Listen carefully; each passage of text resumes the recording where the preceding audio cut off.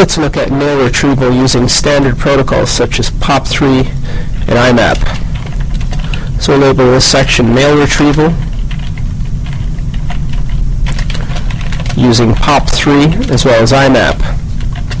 There are many programs that provide this functionality for Red Hat Enterprise Linux, but the program that comes with Red Hat Enterprise Linux that's commonly used and is fully featured and easy to configure is named Dovecot.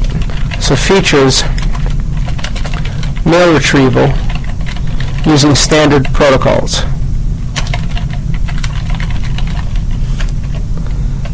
And common package is Dovecot. So Dovecot implements a POP3 and IMAP server that you can then configure your clients to connect to, and Dovecot supports both Mbox as well as Maildir formatted messages. So supports both Mbox, which means var spool mail, followed by username, and in that single file are all the messages, and Maildir formats.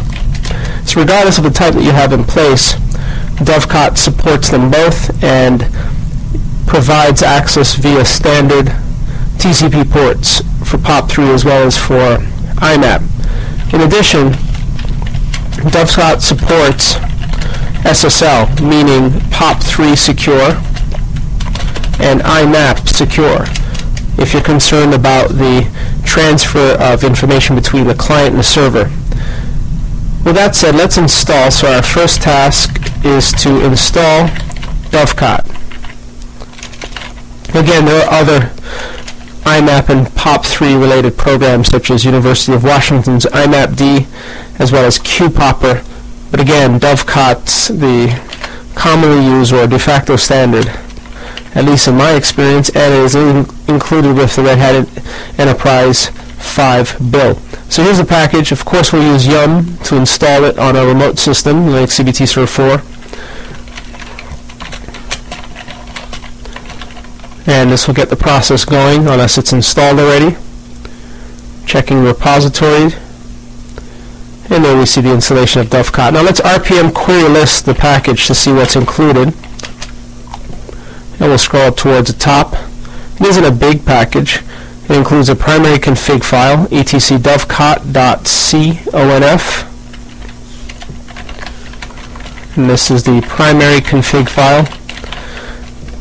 Now let's navigate back to the dump. There's a PAM entry for authentication since Dovecot handles authentication, meaning connectivity from a client with a certain set of credentials, username and password. There's an OpenSSL configuration file located beneath etc PKI and that's Dovecot. This is for SSL config.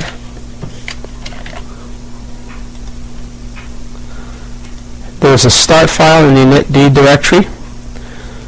The binary is located in user lib dovecot. These are various plugins, various modules that are used by Dovecot.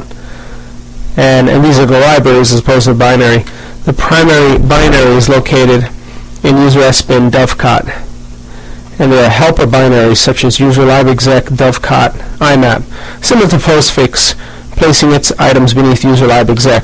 Dovecot places its items beneath user libexec, dovecot, imap, and or dovecot including entries for imap, imap login, pop3, pop3 login, and then there's documentation. So to be sure that the program will start when the system is rebooted, let's get the name of the process from, or the service from the inetd, the directory. We'll execute check config 35 dovecot on. And then we'll execute service dovecot start. And we'll follow that up with netstat.ntl. Notice it reads starting dovecot imap. If we grep 110, which is the POP3 protocol, port, we see that Dovecot's listening to IPv6 and 4. 143 is the IMAP port, and we see again that Dovecot's listening to the appropriate port, port 143. If we apply the P option to the POP3 port, we see that it's listening. So great, our system's up and running. We could actually connect to it from the remote Windows system or from a remote mail user agent such as Outlook Express or Evolution. But before doing so, let's take a look at that dovecot config file. We'll list the contents of it, and we'll see some defaults such as the base directory, the protocols to en enable, IMAP POP3, POP3S, and IMAP-S. This item is commented, which IP addresses to listen to, the where to log information, the timestamp to place into the logs, whether or not SSL should be disabled. The default is set to no. And quite a few other settings to control connectivity. If we netstat ntlp grep dov, we'll see the ports that are currently being served, and we see both IMAP as well as POP3S security ports.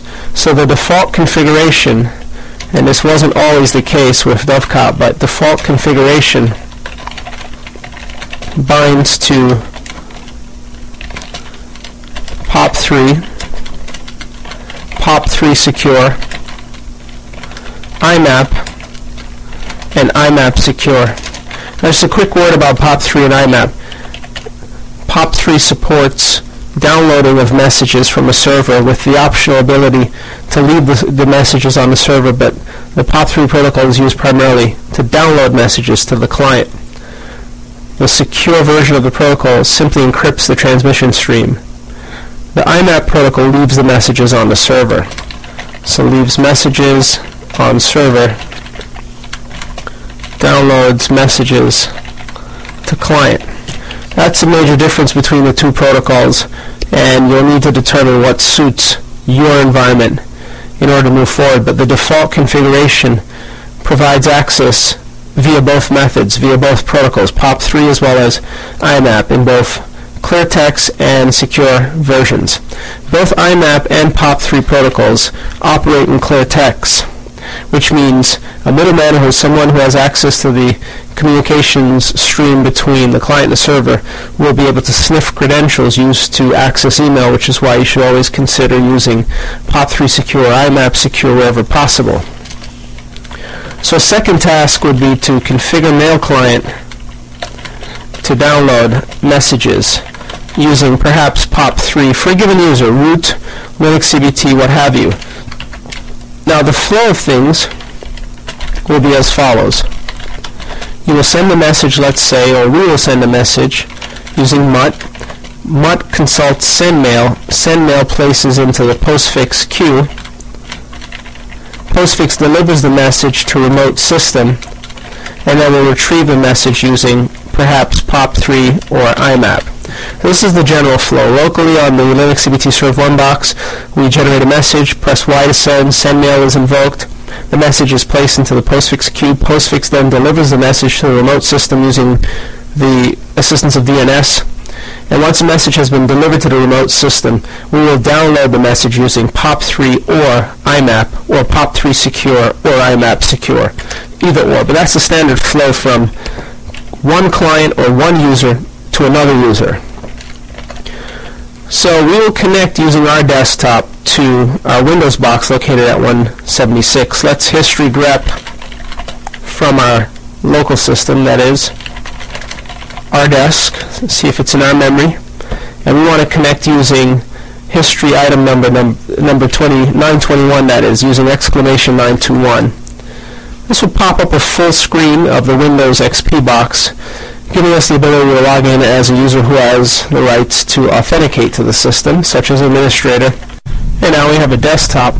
If we navigate to Start, All Programs, we should be able to set up our Outlook Express environment if Outlook Express is installed, and it usually is. Here it is. So we'll click on it and instruct Outlook Express to download messages from our POP3 server. Now this Outlook Express is configured with old settings but we cleaned it out, so that's why it's prompting us, and we'll indicate our name to be the following. root at Linux CBT serve 4 and the suffix. We'll click on next, indicate the IP address. Again, this is the name of the profile.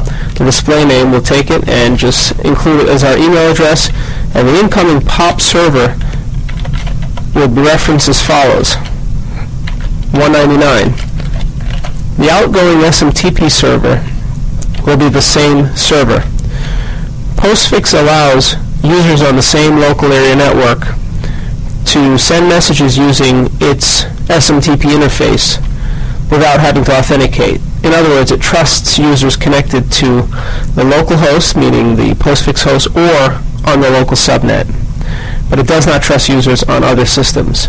Now, the mail server is a POP3 server, but we could optionally specify IMAP or HTTP when configuring Outlook Express. We need to indicate a password for root for connecting to the server, and then attempt to download the messages for the user. We won't import any Outlook settings. We'll just move forward. We had Outlook available from one of our previous demonstrations of OpenPGP when we integrated the software with Outlook. So now we get the default message, and if we click on Control D to delete the message, it's gone to the deleted items folder. And we'll click on Send and Receive to try and download a message from 199. This launches the connection, and from a shell, we can determine, and notice this says it pretends an authentication certificate. This means Outlook Express is attempting to connect to the server using TLS. Now let's just confirm our password once more will allow it, will always allow it for this site, and it doesn't like the password. Let's try it again. Send and receive. And let's try as a user of CBT. Perhaps we just don't have the right password. And we'll type